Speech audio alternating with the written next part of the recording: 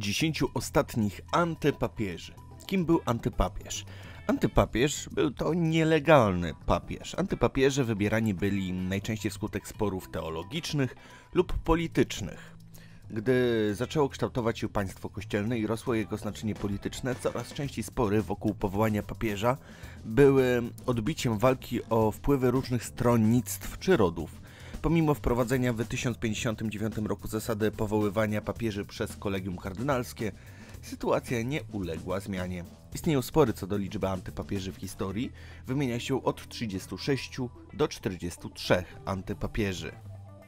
Kościół stworzył listę antypapieży w 1942 roku i ta lista została oficjalnie uznana przez Kościół, także ja prezentuję Wam ostatnich 10 antypapieży uwzględnionych na tej liście. Ottaviani di Monticelli. Nie wiadomo kiedy się urodził, wiadomo, że zmarł w 1164 roku. Wiadomo również, że został mianowany w 1137 roku przez papieża Innocentego II gubernatorem Beneventu.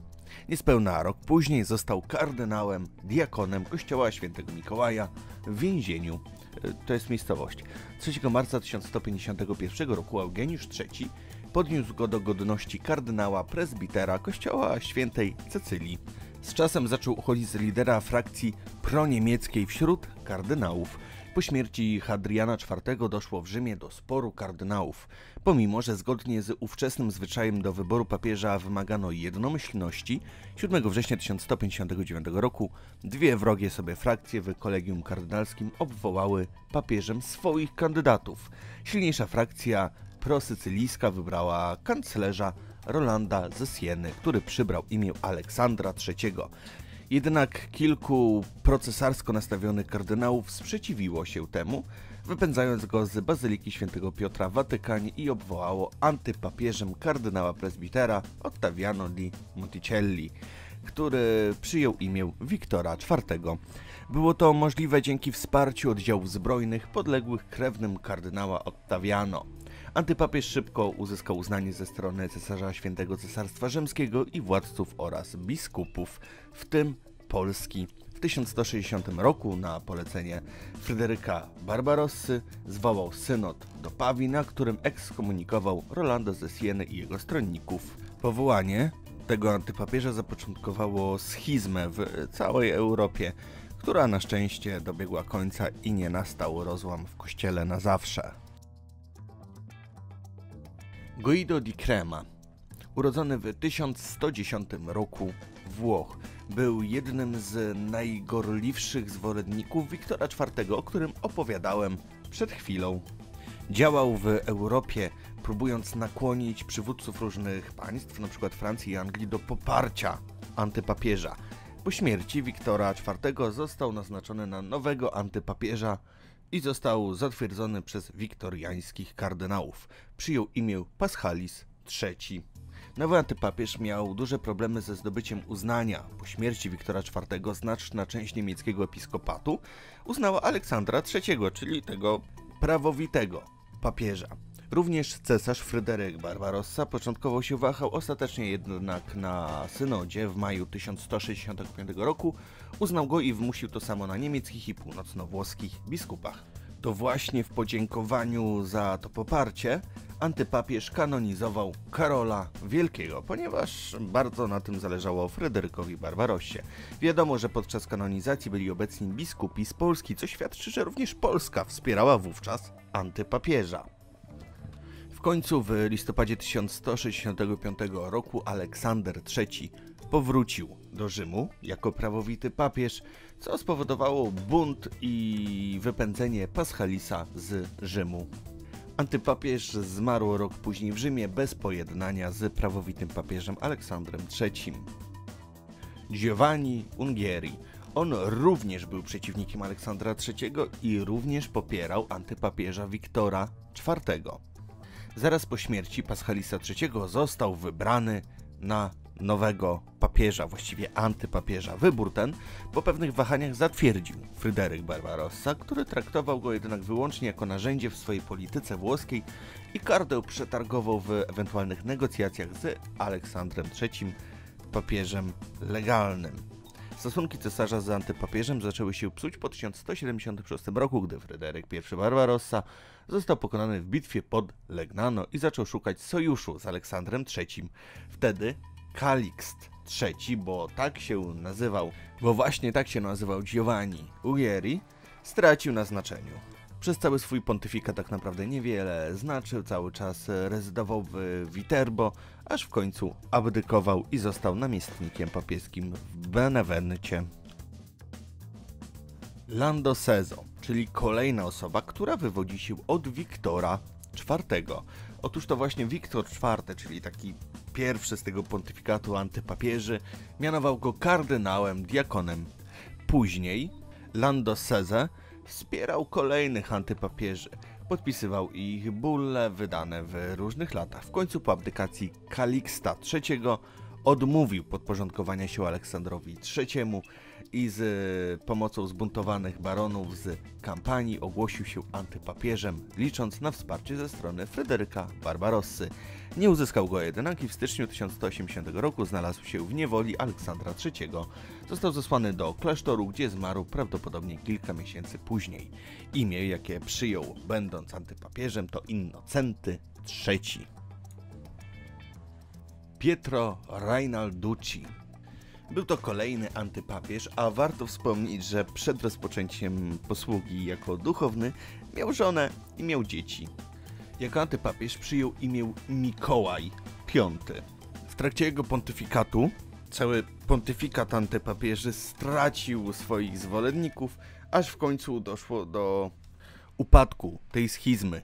Wkrótce potem antypapież musiał się schronić w Pizie, gdzie spotkał się z Janem XXII, papieżem legalnym. Doszło tam do porozumienia, w wyniku którego Mikołaj uroczyście wyrzekł się godności papieskiej, natomiast Jan potraktował go łagodnie i przyznał mu uposażenie. Po dwóch latach rządów uznał zwierzchnictwo prawowitego papieża. Jego zwolennicy, Mikołaja V, opisywali go jako świętobliwego, ascetycznego franciszkanina, lecz przeciwnicy wytykali mu dwulicowość. Zmarł w Awinionie. Robert z Genewy. Otóż tutaj trzeba przedstawić tło wydarzeń. Papieżem był Grzegorz XI. Grzegorz XI był Francuzem i sprawował urząd głównie z Francji. Po jego śmierci podczas konklawy w Rzymie doszło do zamieszek ulicznych. Rzymianie, w obawie, że kolejny papież ponownie zdecyduje się wyjechać z państwa kościelnego, domagali się od elektorów, aby wybrali Włocha. Naciski tłumy, a także incydent z zakłóceniem porządku obrad zgromadzenia przez zbrojną bandę, która wdarła się na elekcję, spowodowały, że część kardynałów nie uznała ważności wyboru Urbana VI. Urban VI, aby pojednać się z opozycją, zwołał konsystosz do Anagni. Podczas jego obrad miano zdecydować o legalności wyboru nowego papieża. Końcu kardynałowie wydali oświadczenie, w którym uznali, że konklawe rzymskie z kwietnia jest nieważne, gdyż wybór został przeprowadzony pod naciskiem i groźbą ze strony tłumu. 9 sierpnia 1378 roku kardynałowie francuscy, będący główną siłą opozycji wobec Urbana VI, wezwali go do abdykacji. Nie widząc żadnej reakcji ze strony papieża, opuścili siedzibę papieską, a następnie, oczywiście, wybrali antypapieża został koronowany Robert z Genewy i przyjął imię Klemens VII. Antypapież Klemens VII ekskomunikował papieża Urbana VI i rozpoczął wojnę celem zagarnięcia Rzymu. Wojska papieża zwyciężyły jednak armię antypapieża pod Marino, zajęły zamek Świętego Anioła i przejęły kontrolę nad Rzymem. Klemens VII wycofał się do Neapolu, a w czerwcu 1379 roku udał się do Awinionu zmarł rażony apoplepsją. Pedro de Luna. Podczas konklawy po śmierci Klemensa VII we wrześniu Pedro podpisał kapitulację wyborczą, w której zobowiązał się w razie wyboru dążyć do zakończenia schizmy, w razie potrzeby poprzez cesję. 28 września 1394 roku wybór awiniońskich kardynałów padł właśnie na niego. Przybrał imię Benedykta XIII. Plan zakładał wybór na antypapieża. Właśnie Pedro de Lune ten abrykuje i przekazuje władzę legalnemu papieżowi. Wbrew oczekiwaniom, Benedykt XIII, bo takie imię przybrał, po wyborze nie wykazał chęci abdykacji, lecz stałą mocą bronił legalności swojego pontyfikatu i odrzucał naciski ze strony europejskich dworów i wielu duchownych. Jego opór doprowadził w 1398 roku do generalnego kryzysu. Królestwa Francji i Kastylii wypowiedziały mu posłuszeństwo i odcięły od dochodów z tych krajów, a większość jego kardynałów także zbuntowała się przeciwko niemu. Benedykt XIII zamknął się wówczas w Awinionie, gdzie oblężony przez blisko 4 lata bronił swych praw. Ostatecznie wiosną 1403 roku kryzys został zażegnany. W marcu podporządkowało mu się jego kolegium kardynalskie, a niedługo potem Francja i Kastylia ponownie uznały jego władzę. W 1404 roku nawiązał kontakty z rzymskim papieżem Bonifacem IX, jednak negocjacje przerwała śmierć Bonifacego i wybór na jego następcę Innocentego VII, który od razu odrzucił propozycję Benedykta. Negocjacje wznowiono dopiero z następcą Innocentego, Grzegorzem XII. W kwietniu 1407 roku Grzegorz XII i Benedykt XIII za pośrednictwem swych pełnomocników zawarli układ przewidujący ich bezpośrednie spotkanie. Do spotkania tego jednak nie doszło. Ogłoszono sobór w Pizie w 1409 roku, w trakcie którego ogłoszono depozycję zarówno Benedykta XIII, jak i Grzegorza XII. Ponieważ sobór pizański nie doprowadził do końca schizmy, w 1414 roku zwołano kolejny sobór, tym razem w Konstancji. Oficjalnie odwołano Benedykta XIII z tym, że ten nie uznał tej decyzji i nie oddał tiary. Benedykt XIII do końca uważał się za prawowitego papieża. Po jego śmierci wśród jego nielicznych zwolenników doszło do rozłamu. Pietro di Candia, czyli kolejny antypapież. Historię tutaj zaczynamy od soboru Pizańskiego w 1409 roku, na którym uznano obu papieży za heretyków i schizmatyków, a następnie został wybrany nowy papież, właśnie Aleksander V. Koronacja miała miejsce 26 czerwca, zyskał uznanie Francji, Anglii, Czech, północnej Italii, Polski. Miał to być wstęp do zakończenia wielkiej schizmy. W rzeczywistości wybór tylko pogłębił kryzys. Na początku pontyfikatu uczynił swoich przyjaciół i zwolenników biskupami i połączył oba kolegia kardynalskie. Był trzecim papieżem panującym równocześnie z Benedyktem XIII i Grzegorzem XII. Wśród historyków nie ma pełnej zgody, który z nich był prawowitym papieżem. Przez cały swój pontyfikat urzędował w Bolonii, gdzie zmarł i został pochowany. Baltasar Kosa Kosa został następcą Aleksandra V i przyjął imię Jan XXIII w 1410 roku. Za prawowitego papieża uznały go Francja, Anglia, Czechy, Portugalia, Polska, niektóre księstwa świętego Cesarstwa Rzymskiego oraz część leżących na północ włoskich miast państw, w tym Florencja oraz Wenecja. Jan XXIII, bo takie imię przybrał jako antypapież, został 14 maja 1415 roku odwołany z funkcji papieża za skandaliczne prowadzenie się. Podobno w czasach, gdy był jeszcze elegatem, uwiódł 200 kobiet. Ponadto uprawiał symonię i krzywoprzysięstwo. 11 listopada 1417 roku Sobór obrał na tron państwowy oddane kolonę, który przyjął imię Marcina V. Nowo ubrany papież udał się do Florencji w lutym 1419 roku. Kosa został wówczas wykupiony z niewoli przez Republikę Florencką. I w taki oto sposób znowu mamy dwóch papieży. Po przybyciu do Florencji w 1419 roku Jan XXIII całkowicie podporządkował się Marcinowi V i otrzymał godność kardynalską. Pochowano go we Florencji.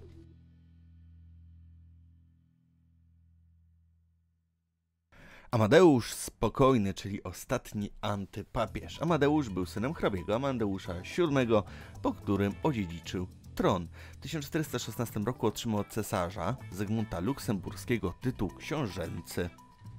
W końcu przyjął habit i został przełożonym założonego przez siebie zakonu świętego Maurycego. W 1439 roku na soborze w Bazylei został wybrany antypapieżem w opozycji do Eugeniusza IV. Jego wybór był dokonany przez jednego kardynała i 32 elektorów. Nominację przyjął po długim wahaniu. Większość państw europejskich zachowała neutralność wobec Feliksa, bo przyjął imię właśnie Felix V. Powołał kilku kardynałów, a jego sekretarzem przez pewien czas był Eneasz Sylwiusz Piccolmini. Ponieważ Felix nie znajdował wsparcia u ojców Soboru Bazylejskiego, postanowił abdykować z pomocą arbitrażu francuskiego króla Karola VII. Antypapież cofnął wszystkie rzucone przez siebie klątwy i uroczyście ustąpił z urzędu przed Mikołajem V. Tak zakończyła się ostatnia schizma w kościele katolickim i więcej antypapieży już nie było. Dzięki za obejrzenie do końca. Mam nadzieję, że ten odcinek Wam się podobał. Dajcie znać w komentarzu, o czym chcecie kolejną dyszkę i zapraszam Was na moje dwa pozostałe kanały, a to ciekawe oraz światowa historia. Trzymajcie się, cześć!